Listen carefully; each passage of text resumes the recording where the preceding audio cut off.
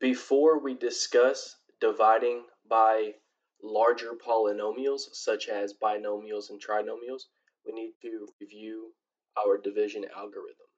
The division algorithm teaches us how to use long division to divide large numbers. This is going to be the exact method we want to use to divide by polynomials. It says use the division algorithm to divide 6,584 by 28. In other words, how many times can 28 go into this number 6,584? In other words, how many groupings can we have if we divide 6,584 by 28? So first thing we want to start to do here is, off the top of our head, we cannot think how many times this divides. So we are going to start with the method of dividing from left to right. In other words, with the number 28, we will look at the first digit underneath our division sign. That is the 6. The question here is, does the 28 divide into the 6? And that answer, of course, is no, because 6 is smaller than 28. That is impossible. So we move on to the next digit of 5, including both the 6 and the 5, the number 65. Can the number 28 divide into the 65? It doesn't have to be evenly. How many times, though, does 28 go into 65? That answer is 2. 28 goes into 65 twice. 28, 56. If I go any higher to 84, right, I'm, I'm over 65, so I need to stay at 2. I'm going to stay at 2. So I was able to go to 56, and I had to stop. So the division algorithm now says subtract 65 minus 56 and we will get 9.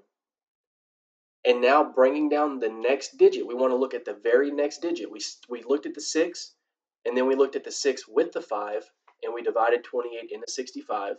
We had a remainder of 9. And so now we will bring down the next digit 8. And with the digits 9, 8, we have 98. How many times will 28 divide into the remainder of what we have here, 98? 28, 56, 84. If I go any higher to 112, I'm over 98, so I will stop at the 3. 28 goes into the 98 three times. 28 times 3 is 84. 98 minus 84 is 14. Now we bring down the final digit under our, our division sign, we bring down the 4. So notice how we've used the 6, the 5, the 8, and the 4 while we divided. We divided the 28 into 65. We saw what, uh, what we had leave, left over, and then we brought down a remainder number. We brought down the 8. Then dividing into 98, we see that we stop at 84. 28 times 3 gave us the 84 to give us a subtraction of 14, and then we bring down the next digit 4, and now 28 divides into 144 how many times? 28, 56, 84, 112, 140. And then anything over that, 168 is too high. So 28 goes into 140 five times. 28 times 5 is 140. And that difference is 4. As we've been saying over and over, multiplication is repeated addition. Division is repeated subtraction. So that's why we continue to subtract the remainder because the way that this starts here is we're dividing the 28 into 6,500. And whatever is remaining after that, we want to divide into the remaining 84. We're just continuing that process to divide what's left over once we divide into the larger number. When we say, can 28 divide into 6, we're saying really overall we're dividing into 6,000 because where does the 6 digit? It's in the thousands place. So can 28 divide into the 6? No. Can 28 divide into the 65? Yes. So we know that 28 times some number 200 is going to give us this value. Now what is this number? We see at the top we get 235, but at the bottom what happens there? We subtract and we get 4. There is no other digit to bring down, so 4 is our remainder. 6,584, if we divided that number by 28, we would get 235 groupings with 4 left over. How would we write that expression? That is 235 plus the remaining 4 left over out of our division of 28. So that remainder that we have left over is a part of a number, and it's our fraction. So 6,584 divided by 28 is 235 and 1 seventh. Let's take a look at an example. Let's divide 3,713 by 22. We'll go to the full screen here.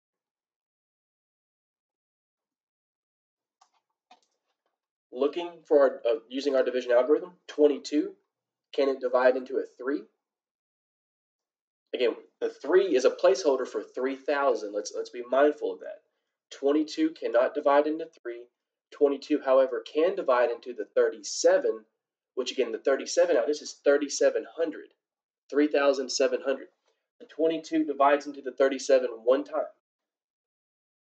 Right? 22, 44, 66. So we stop at 22. 22 times 1 is 22. So subtracting this again, division is repeated subtraction. 37 minus 22 is 15.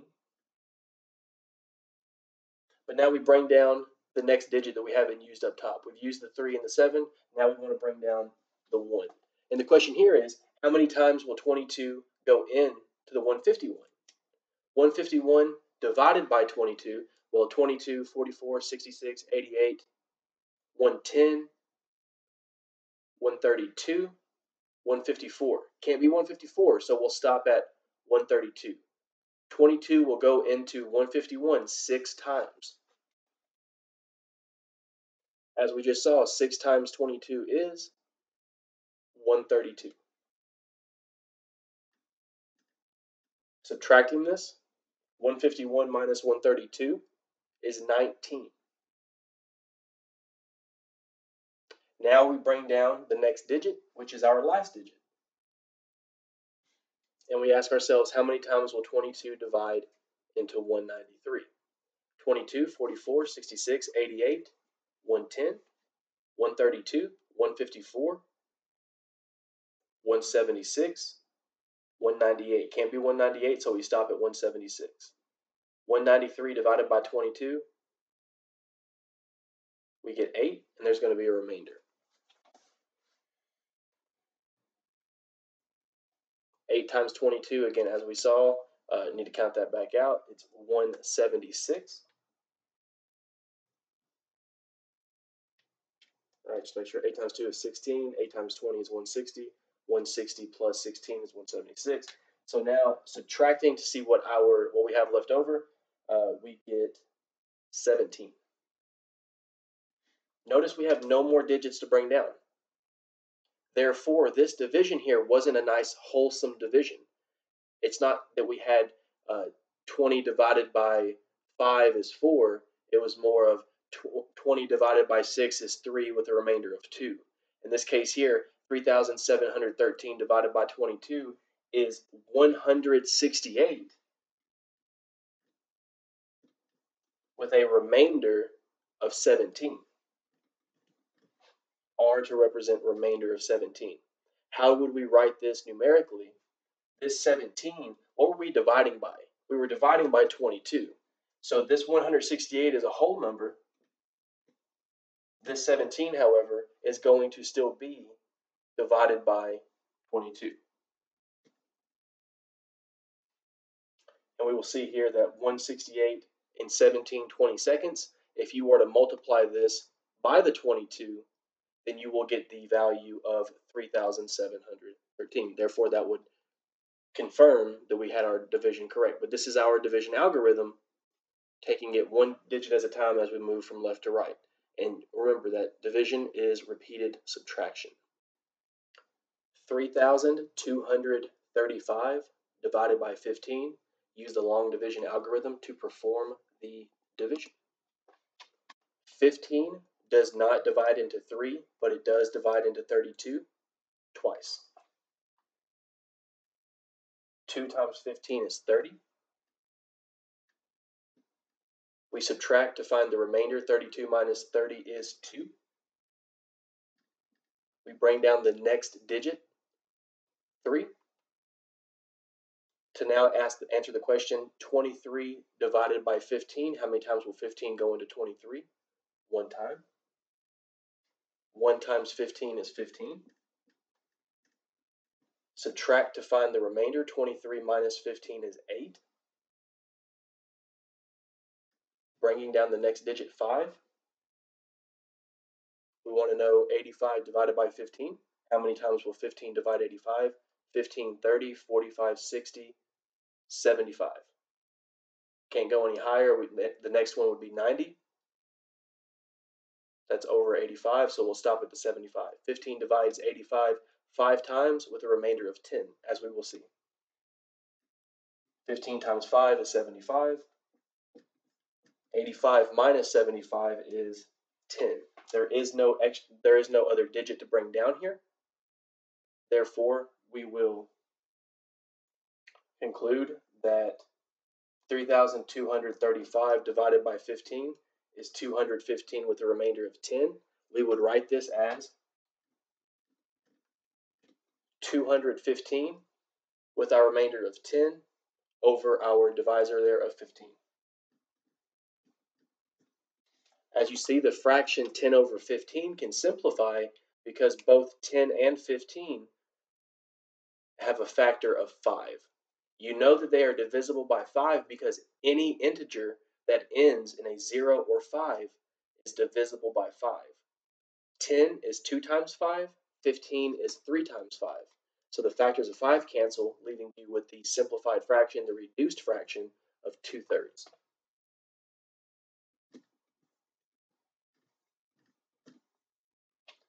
So 3,235 divided by 15 is 215 and 2 thirds. We could also express this